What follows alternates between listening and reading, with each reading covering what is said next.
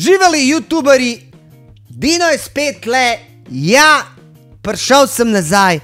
Rekel sem, da bom delal vsak dan te posnetke, ampak sem se mal zmotil. Ful se mi dogaja v lifeu, ful moram delati, ne samo video, ne samo Twitch, ampak tudi razni eventi, ki me kličejo in razni sponzorji, ki bi radi sodelovali z mano. Ampak, danes sem rekel, zdaj, Dino, ura je 3:20 in vzel si boš tistih 10 do 20 minut časa za svoje fane, za svoje prijatelje, ki radi gledajo oziroma poslušajo, kaj se dogaja pri nas in v svetu. Hvala vam lepa, da ste si ogledali. Danes bomo si spet pogledali nekaj, ampak rad bi omenil uh, vse tiste, ki so komentirali, ki so lajkali, tiste, ki so dislajkali in rad bi pohvalil še posebej dva, dva, celo dva podpornika, ki sta podprla moj stream.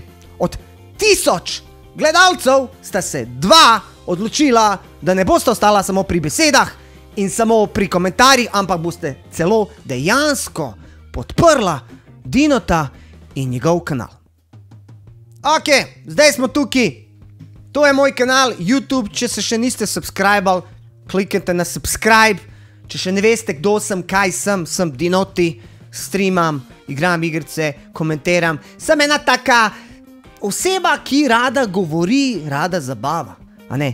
Tako da, zdaj bomo šli na moje posnetke, se pravi, dobro jutro, Dinoti. To je bilo mišljeno, da jaz zjutraj gledam te novice. Ampak glej, včasih ni časa, pa tudi popovdne. Prvi del je bil ženska neko- neenakopravnost in stanovanja. Dino je tle. Potem drugi posnetek, Jelendol, katastrofa in Luka Dončić igrata Fortnite. Dobro jutro, Dinoti 2. 61 lajkov, 3 dislajke. Tri punce me namarajo. To so tiste, ki sem jih zavrnil. Oprostite, gospodične, ne bom odšel z vami, ne bom imel grupiča z vami, vem, da se mi vse želite, naenkrat v pojsli, ampak ne morem. Ne morem, ker kamagra je draga. Tako da so mi dali dislike, ker jih nisem hotel. 34 komentov. Zelo veliko komentov je. Nekdo, ki sem rekel 6,8 skokov, mi je nekdo celo razložil, čuz mi je razložil, razložil, odkje je cifra 6,8 skokov. V devetih tekmah se je nabral vse skupaj 61 skokov. Če deliš 61 z 9, je to 6,777 oziroma 6,8 skoka. Sedaj mi je jasno. Nekdo je rekel, želim si biti ti. Zakaj si želiš biti jaz? Ne želi si biti jaz, imam probleme s kožo. Ja, vidiš, dermatitis, ne morem se ga rešiti dve leti, katastrofa. Tako da ne želim si bi, biti uh, jaz. Moja baba živi tam. ok, zelo veliko vas je komentiral, hvala lepa. Nekateri so rekli, me prosiš, o, me prosim, omeniš, mogoče te bom omenil, hud gamer, mogoče. Nek, nekdo je napisal, da so migranti enaki, nekdo je napisal, da niso, ampak nima veze. Zelo bi se rad zahvalil Master Artu za donacijo 10 evrov in Lovro Gamingu, ki je dal celih 1,30 evra. Hvala lepa. In če želiš biti naslednjič v mojem posnetu omenjen še ti, pojdi dole opis link, ne bodi samo pri besedah, ne bodi samo džabičar, pritisni PayPal, supporti dinotja ali pojdi v Petrol, kupi PaySafe in pošli. Hvala lepa za to, zdaj pa šli mi malo naprej. Sjolnet, vi vsi veste, F11, da dobimo ta velik screen, da tukaj so pač novice. Glejmo pogledat, kva se kaj dogaja tukaj. Volitve v ZDA izstrelile senatorko slovenskega rodu. A zato, ker je ona slovenka, so njo izstrelili, kaj ven. Se pravi, ona je šla v volitve in je rekla, I want to be a president of United States of America. But my relatives are from Slovenija. Puf! Go back to Slovenija, bitch! Was it like that? A je bilo to tako? ne vem, gremo pogledat. Peči Milojka. Volitve v ZDA izstrelile senatorko slovenskega rodu. Po umestnih volitvah si je svoj položaj v ameriškem kongresu zanesljivo utrdila tudi senatorka slovenskega rodu Amy Klobučar. Ampak, kot ste opazili, Amy Klobučar, Amy ni slovensko ime, Klobučar, tudi ni slovenski primek, se pravi, to je zihar druga ali tretja generacija. Se pravi, Klobučar. Se pravi, ona je prišla iz Slovenije, ki je njen fotor bil klobučar, oni so delali klobuke. Alfora je tem, da tukaj pri nas Sloveniji nima denarja in niso mogli kupovati klobuč- klobukov. In so pa rekli, oni gremo mi v Ameriko, tam se vse proda. In tako je ona postala v Ameriki.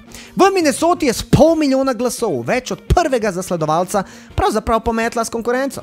Še pred kratkim ameriški javnosti bolj neznana senatorka se vedno bolj utrjuje svoje ime. Zdaj nekateri celo omenjajo kot mogoče kandidatko za predsedniške volitve. A si lahko zamislite, prva slovenka uleti do Trumpa, se mu uvali in pristane kot ena najjača žena v Ameriki. In potem tale, ki je stara, ki grčka, prav, ko jebe, pip, I'm gonna be there too. Se pravi, ona bi tudi rada bila. Prav, jaz sem slovenka, kva ti veš, ali jaz sem pač slovenka, klobučar, klobučar, whatever. You know? Ja, bom šla, ker sem slovenka, slovenke imajo šanse in zato ona zdaj hoče biti predsednica. Amy Klobuchar je na volitvah v Minnesoti, a to sem že prebral, ne, je prejela 1,5 milijona glasov voljivcev, oziroma 60 odstotkov, medtem ko jih je njen prvi zasledovalec republikane Jim Newberger zgolj nekaj z več kot 900 tisoč, oziroma 36 odstotkov. Po pisanju ameriških medijev je to najbolj zanesljiva zmaga med vsemi senatorskimi kandidati. Ja, veš, če si žena. Evo ti, evo! Pa Če si žena, to uporabiš, Magic, Victory, man. A veš, Victory, se veš. Uh, vse dobi, stari, skaj jaz nimam. Uh. Klobučarjeva si je tako le še utrdila svoj senatorski položaj, na katerega je bila prvič izvoljena leta 2006 in na to ponovno leta 2012. A vi vidite, to je ustrajnost. Se pravi, v življenju moraš vedno ustrajati. Nema, ja, jaz ne morem, ja, težko je, ful je veliko re, konkurence, ne da se, ne. Če hočeš kaj delati, moraš ustrajati, moraš delati. Nema tu pakanja, ne. Survivori, tam močni gredo naprej. Pičkice umrejo, pičkice ostanejo, a si pičkica. No ta baba ni pičkica, to je pičketina. Zdaj bavam se, no to je babetina, to je orang eh, životinja, mislim, to je borac, levinja. Veš, viš ti njo, kako ona maha, stari, ona ti je vzela trenerje, da ona lahko tako le pomaha, a veš, pizda to me skoraj me na... ne bom nič rekel. A veš, skoraj. Se bo podala v tekmo za predsedniški položaj, to je vprašanje. Ameriški javnosti je bila doslej precej nepoznana. Nas je opozorila na nedavnem zaslišanju Breta Kevanoha za vrhovnega sodnika. Ko ga je vprašala, ali bi kdaj toliko pijan, da izgubi spomin. Itak. Kevanoh je odgovoril za vprašanje o njenih pivskih navadah. Pozneje se je za svoj odziv pravičil. Opa! Nekdo iz Slovenije ne sam prinesel klobučar primek, ampak tudi navado za pomaj zelenske cviček. Po pisanju ameriške tiskovne agencije AP jo zdaj celo omenjajo kot mogoče demokratsko kandidatko za prihodnje predsedniške volitve, ki bodo leta 2020. Go girl! Javno mnenjska anketa Morning Consult jo namreč uvršča na četrto mesto najbolj priljubljenih ameriških senatorjev. Pozitivno mnenje je izreklo 60 odstotkov anketirancev, negativno pa 25. A vsi, hejteri so posod, hejteri, hejteri so posod. Bolj bi bil presenečen, če ne bi kandidirala. O možnosti kandidature poroča tudi CNN, ki med, drugimi omenja, da ima Klobučarjeva na svojem računu 5 milijonov dolarjev prihrankov. 5 milijona! Se pravi, jaz če umrem, pa se rodim, pa umrem, pa rodim, pa tako ene desetkrat, bom tam nekje zaslužil. 5 milijona! The V-Power, the power of V, guys. Ki bi jih lahko namenila predsedniški kampanji. Avtor analize včerajšnjih volitev Kris Kiliza, Čiliza, ob tem dodaja, da bi bil bolj presenečen, če ne bi kandidirala za predsednico. Zakva? Na Amazonu medtem celo že tržijo majice z napisom Klobučar za predsednico 2020. Ma zdaj bom šel kupiti majico, da jo podprem majke mi stari. Mogoče je videla ta posnetek, bo kaj donirala na Twitchu ali pa za moj posnetek. Bo šel tukaj gor. Klobučarjeva, dropped 10,000 dollars for Dinoti because he is the best guy. Sprav tukaj imamo full velik teh komentov. Go Klobučarjeva, mi smo s tabo, zmagi. Gremo naprej. Združitve Telemaha in Pop TV-ja neverjetno ne bo. Sprav Telemah, majki mi ta Telemah se uvali svuda. Najverjetno ne bo. Sočenje županski, to me ne zdaj. Mesec držali smo obljubo, to, okay, to je politika, ne zanima me politika. Jan Oblak, ki bo govorila o njegovem še generacije, Miro Cerar. bo- Oh moj bog. Cerar! Majki ti človek star 60 let uvalijo ženi. Pa, glej ti to, stari. Stari, on se prči. Oni prče, stari. A ste videli to? Jaz sem mislil, ti pri 50-ih, da se pipa zapre. Ali oni prče, koliko je on vesel, stari, pa moj glih prišel od jutrnega kvikija. Ministr za zunanje zadeve in nekdani premier Miro Cerar bo še tretjič postal oče. Piše revija Zvezde. Se pravi, Zvezde revija, če reče, da si postal oče, ti si postal oče. Ti prčijo ali ne prčijo. Ta v današnji izdaji navaja, da boste s spremljevalko mojico Stropnik zibala prihodnje leto. Sprav, ker bo njen otrok bil star 20 let, ona bo glih šla v dom za ostarele. Veš, oni so pametni, oni pravijo, jebeš ti pokojnino slovensko. Ti nikoli ne veš, če boš ti pokojnino dubo. Dobro, za njih ne dvomim, ampak tako za normalne ljudi. Najbolj nares otroka, ti, ki s tem star ne moreš hoditi, on je glih star 20 let, da te lahko održava. 55-letni cerar ima iz preteklega zakona še dva otroka. Študentko Evo in srednjošolca Miho. A ja, to je nova. A ja, ta ta nova hoče biti zagarantirana, v tem je fora. Spravna stara mu je dala dva. In pazi foro, Eva in Miha. Sta rekla, joj, sem da predeknejo, da dobim hišo, da dobim denar, da dobim une pare na unih otokih. Ko mi čakam, ali kaj, fotor, njim prav, prc mi lojka, ne boš. Prehaja tretji. Jaz mislim, da sta zdaj Evo pa Miha tako le, in ti, ne, zakaj ne otrok, kam jaz bi star 50, bom jaz mogel daliti za eno. To je v bistvu nova in ona se je zagarantirala. In ne boš ti šel stran, pa da ne boš pol hiše dol, pa pol toka tam v seščelih, ni šans. Mi, uh, oho, gledi te fore, 55 ima preteklo že uh, študentko Evo in Miho. S 37-letno odvetnico Snopnikovo, ki je nekaj časa delala v njegovem kabinetu, ko je bil še premier, se videl leta 2016. A si videl, a si videl, da V-Power. A smo se mi pogovarjali o V-Power, to je že druga. V-Power uporabnica. Sprav, ok, rad popularen, ona se uvala v kabinet, malo veš, noge gor dol, depilacija, masaža, malo solari in bum, here you go. Samo mene zanima, se on ločil prej, a se ločil zaradi njih. Vej ti tega. A rekel bi si, stari človek ni jebo od 45, stari. Ali šmekeri so to, stari. Šmekeri. Kot če poročajo mediji, je bil Cerar med čudijem prava njen profesor. Aaaa! Zdaj mi je jasen, pa to se dogaja še iz faksa.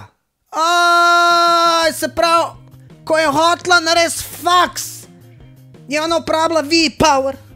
In zdaj, ko je ona hotla dobiti še več, po toliko let, spet V-Power, double V-Power. Stropnikova je Cerarju, Cerarju, pomagala pri ustanavljanju stranke. Službeno sodelovanje je preraslo v prijateljstvo, poznaje pa sta postala fuck frenda. Parna. Na uradnem dogodku sta se prvič skupaj pojavila v začetku leta 2017. Odtlej pa je Stropnikova Cerara spremljala tudi na drugih javnih prireditvah in državnih obiskih. O svoji zvezdi sta spregovorila tudi v intervjujih za nekatere medije. Je bi ga stari, ona je uletela, mlada, spomnim se iz leta 80, stari, kjer je noge so to bile, pijaj, kosa do guzice, stari, a veš, ona nabrekla, vedno sanjala biti z učiteljem. Jaz tam, vse veš, kako je dolgočasen, punih jaja, vidim njo. Pa dal sem ji uno šesko, ma dej, kako je ona to naredila. Ha, veš, kako je ona to naredila, ma mogo sem ji da, da gre čez. Mogo! Meni je to nekaj tasga bilo iz časov. Faksa. A je še kakšen komentar? Ma glej, glej, svaka ti čast. Svaka vam čast, da pri teh letih še vedno delate otroke, ker če mi mladi bi imeli stanovanja, službe, mi bi jih tu delali, ali je bi ga zgledali na vas starima. Tako da vi boste delali za Slovenijo. Gremo naprej, kaj imamo? Zdaj smo imeli neki po, politiko, V-Power, uživo, domžalčani se veselijo, gorica v težavah. 16 ljubljanski civilni, bla, bla, bla, tak nastop se lahko privošči samo Bill Gates. Telefon srednjega cenovnega razreda, fun kakšne ima največji vodja. Igralci povsem zmedeni, divji ljubljanski ritem, skrivnost testenin, napetosti med Marušo in Gašparjem, smrklja se ne bo drla name. Bar, bar, to ti je, to ti je, to ti je pač nekaj, kar oni počnejo. In mi budale gledamo, jaz vam tako priznam, včasih gledamo v petkih sobotah, malo smejem se. Gledam pač to ti isto, kot gospodari prstano. Imaš ti za hobita, pa imaš elfa, pa imaš humana, ne vsi so skupaj en happy family, oni se vsi borijo za tisti prstan, za tisto moč, da bi na koncu dobili tisti 50 tisoč dolarjev, evrov brez davka. Odnosi med Marušem in Gašperjem, kot kaže, ravno niso najboljši. Med njima vladajo prevelike razlike. On je previsok, ona preniska. Zato je bila naloga, da skupaj pripravite kosilo, da oba dva režeta krompir. Za oba prava muka in preizkušnja za živce. Ona ne mara krompir, on ga obožuje. Maruša je v stanovanje dobila sporočilo, da mora Gašperju pomagati pri pripravi kosila. Takoj si je predpostavljala, da bodo težave, on visok, ona mala, kako bo to šlo. Že predtem sta namreč imela manjši kratek stik, ki se je popoldne nadaljeval. Ona na kolenih, on še vedno previsok. Slabši odnosi med tekmovalcema so se začeli že kmalo po stopu Gašparja v šov. Ko naj bi se Maruša z njim pogovarjala v neprimernem tonu. Ti prasec, zakaj si prišel po tolikih tednih? Tu sem jaz šef. Gašper naj bi zato zabrusil, da ona ne bo šef in da ji bo pokazal, kako se tem stvarem streže. Ma se hecam. Gašper naj bi zato zabrusil, da ne bo pustil, da se smrklja. Ti smrkavec, ti smrklja. Smrklja, evo ti balava. Tako pogovarja z njim, več v videu. A gremo pogled, kaj bo. Daj, majke me. Pa mene vprašanje, zakaj tako starate, da je zavrn kuhat? Ker nimaš kaj drugega za delati. Še direm za pizzerije naprej, da moram kuhat, da mi bo šlo zglo. O moj bog, kako ona, o, kako ona dvigne nogo, stari, svaka ti čas, ta je gimnastiko treniral. Sam jaz tukaj v tej faci vidim bolečino. Uf, pizde. Rigala tu. A je to ona rigalna zraven? Kaj imaš ti tukaj gor pone, pa niješ nič notri? Čakam, da, ju- da mi čebulo nareže. Čebula. Kaj ti boš komandirala ali koga? Sem mi rekel, da nam je lahko moralna podpora.